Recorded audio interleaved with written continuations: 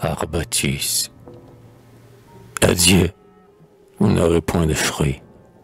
Adieu, vous que je voulais suivre. Enfant qu'on m'enviait, qu'on venait admirer, si charmant qu'à les voir on se sentait pleurer, prévoyant qu'ils n'allaient pas vivre.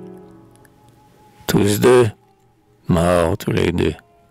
Ah, c'est trop de rigueur, c'est trop, car dans leur fosse ils dorment sur le cœur d'une autre qui m'était bien chère.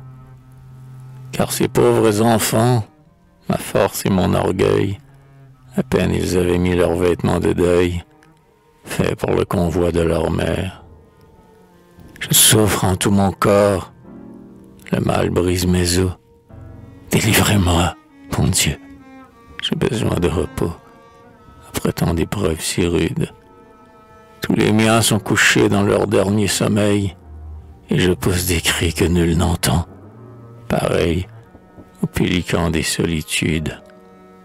Femme, enfant gracieux, être pur et charmant, que vous avez souffert à vos derniers moments.